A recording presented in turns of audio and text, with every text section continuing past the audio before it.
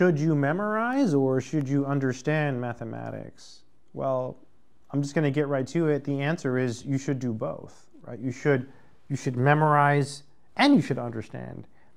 And the thing is, a lot of people don't like memorization. I myself rejected it for a very, very long time. I always resisted memorizing things, and it hurt me, and it hurts a lot of students.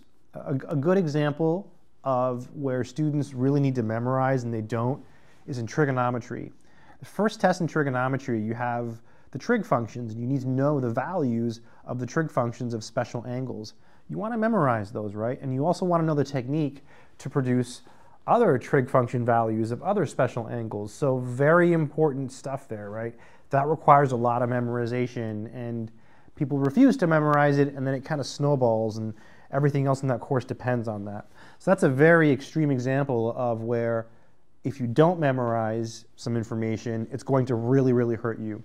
There's other examples in math where you know memorization is important, but a lot of times you know you can get around it. For example, um, there's a formula that gives you the sum of an infinite geometric series.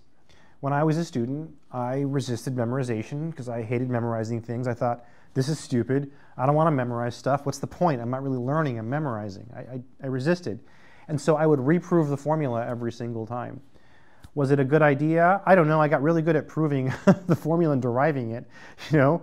Um, and yeah, so I, th I, think it was in that case. But I certainly worked a lot harder than I needed to. I could have just memorized the formula and, and been done with it. So I think the answer is both. You want to memorize and you want to understand. What do you think? Do you think memorization is more important? Do you think understanding is more important? Or do you think it's good to have a combination of both? Leave a comment in the comment section below. Take care.